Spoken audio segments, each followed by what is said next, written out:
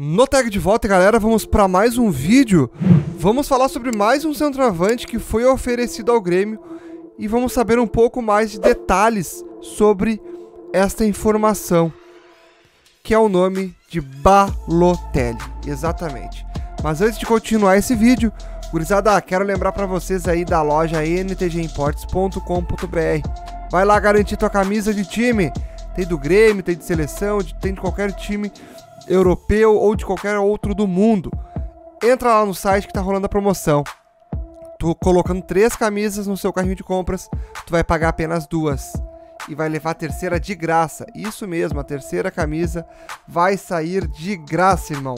Então tu pode entrar no site ou pelo link que está na descrição ou pelo link que está no comentário fixado ou até mesmo botando aqui o celular no QR Code da tela. Beleza?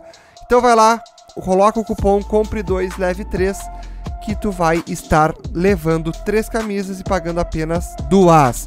Ou então, se tu quer levar uma camisa só, coloca o cupom no tag tu tem 5% de desconto em qualquer produto. E lembrando que o frete é grátis para todo o Brasil. Beleza?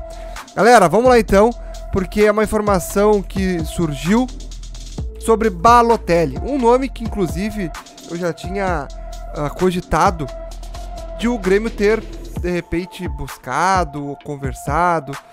E aí hoje surgiu a informação da Gaúcha que o centroavante Balotelli foi oferecido para o Grêmio. O jogador que tá, está hoje com 33 anos e está na Turquia. O italiano Mario Balotelli, 33 anos, oferecido ao Grêmio. Então, essa é a grande informação.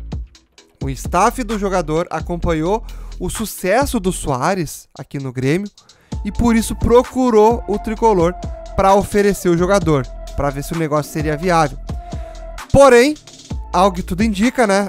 Como foi apurado pelo jornalista Eduardo Gabardo, o Grêmio não demonstrou interesse na contratação do Balotelli. O Grêmio está buscando outras alternativas no mercado para a posição de centroavante e o Balotelli não teve sim esse, esse tão esperado uh, interesse. Mas o, o Balotelli, que hoje está no Adana Demirspor, lá na Turquia, que é o quinto co colocado lá do Campeonato Turco. Ele tem aí o contrato até junho de 2024 e desde que ele chegou no clube em 2021, ele marcou 22 gols em 38 jogos, é uma boa média. Lembrando que o Balotelli aí passou por Inter de Milão, Manchester City, Milan, Liverpool, nos últimos anos aí ele rodou por Nice, Olympique de Marselha, Brescia, Monza e Sion.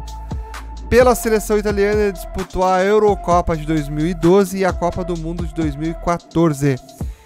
Em 2019, o Balotelli teve uma negociação com o Flamengo, porém não teve um acerto aí após diversas reuniões. Então, por enquanto, a informação é essa sobre Mário Balotelli, mais um nome que surge aí no radar do Grêmio. Beleza? O que vocês acham de Mário Balotelli? Aprovariam a contratação dele no Grêmio? Comenta aí embaixo, quero saber a opinião de vocês. Tamo junto, forte abraço.